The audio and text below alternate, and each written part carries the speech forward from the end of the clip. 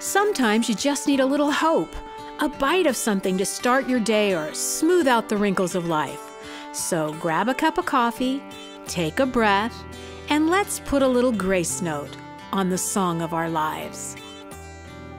I've decided that, like Rita Rudner, I don't plan to grow old gracefully.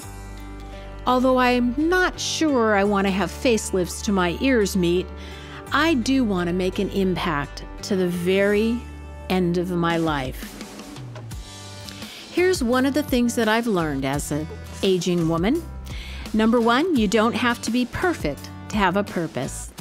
In Philippians 3, which is Paul's personal testimony, it talks a bit about his life. Now, he had a great pedigree, he came from a great family, had a perfect education, and perfect training.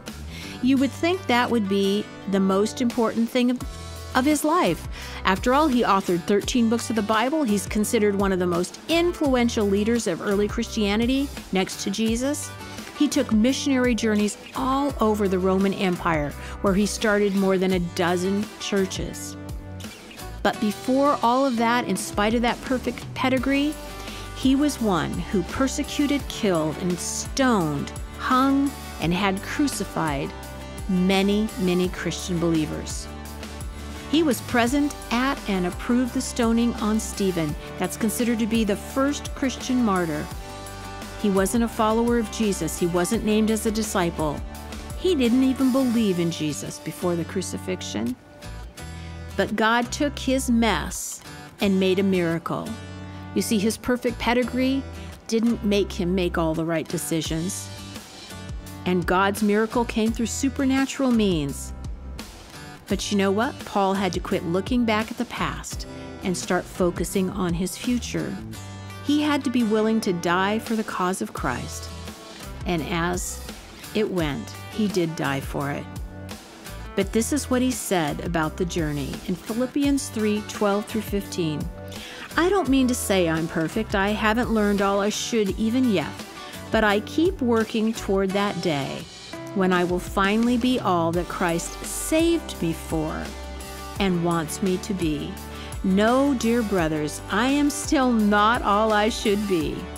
But I am bringing all of my energies to bear on this one thing, forgetting the past and looking forward to what lies ahead, I strain to reach the end of the race and receive the prize for which God is calling us up to heaven because of what Christ Jesus did for us.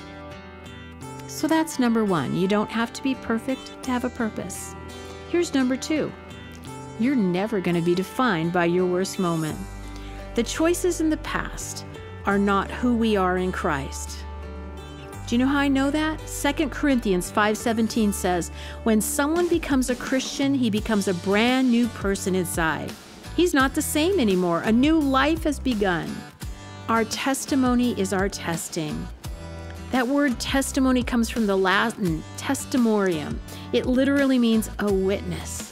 Look at what God can do. Look at what God has done. Isn't that amazing? And number three, you're never so used up, you can't be used by God. When the world calls us worthless, He calls us worthwhile. I love the book of Job. It's been called a dramatic poem framed in an epic story. In the story, as we all know, Satan challenges God to demonstrate Job's salvation, proposing that if all the wealth Job had and all his privilege were gone, if his family were stripped away, if his very identity was robbed, Job would curse God. But Job didn't curse God. And even when his friends tried to say that there must be sin in his life that had caused all of the disaster, as we remember, he lost his children, he lost all of his wealth, he lost his very health. They tried to say, well, it must be because of some sin. You know, the world wants to cast judgment on us. But the bad things that happen to us in our life are not because we've sinned. God loves us through the sin. And you know what? God never did try and explain Job's suffering. Some things we may never know. We don't know why we suffer. But we do know God's sovereign. He's our advocate, not our adversary. John 10:10 10, 10 says, "The enemy comes to steal, kill and destroy, but I, meaning God or Jesus, have come that they may know life and know it more abundantly." You know what Job said in Job 12:12? 12, he says, "Wisdom is with the ages, and with the length of days, understanding." He knew that God may allow some of these things to happen to him but it was not because God is a bad God. Job had it going on. In the first chapter, verse 21, he says, Naked I came from my mother's womb, and naked shall I return there. The Lord gave, and the Lord has taken away. Blessed be the name of the Lord. God made us, and He knows who we are.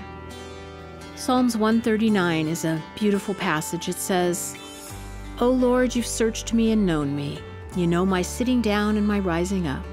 You understand my thought afar off. You comprehend my path and my lying down, and are acquainted with all my ways. There's not a word on my tongue, but behold, O Lord, you know it altogether. You have hedged me behind and before and laid your hand upon me. Such knowledge is too wonderful for me. It's high, I can't attain it. Where do I go from your spirit, or where can I flee from your presence? If I ascend to heaven, you're there, and if I make my bed in hell, behold, you are there. If I take the wings of the morning and dwell on the utmost parts of the sea, even there your hand shall lead me, and your right hand shall hold me. If I say, Surely the darkness shall fall on me, even the night shall be light about me. Indeed, the darkness shall not hide from you, but the night shines as the day. The darkness and the light are both alike to you. You formed my inward parts. You covered me in my mother's womb. I will praise you, for I am fearfully and wonderfully made. Marvelous are your works, and that my soul knows very well.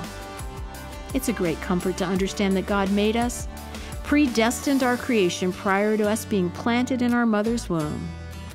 But it's even more amazing to understand that God has promised that He's going to carry us even to our old age.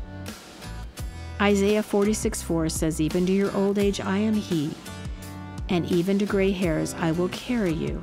I have made, and I will bear. Even I will carry, and will deliver you. So, no matter where you are on that path of life, just know that God's got your front, your back, and everything in the middle. Be blessed, my friend. God is on the throne. See you next time. If you're new to Grace Notes or Project Forgiveness, we hope you'll come back often. You can go to projectforgiveness.com to email a prayer request, send a comment, or a topic suggestion. Your thoughts matter to us.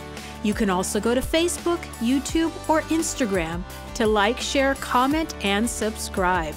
We care about you and your concerns, and we know that God has your very best in mind.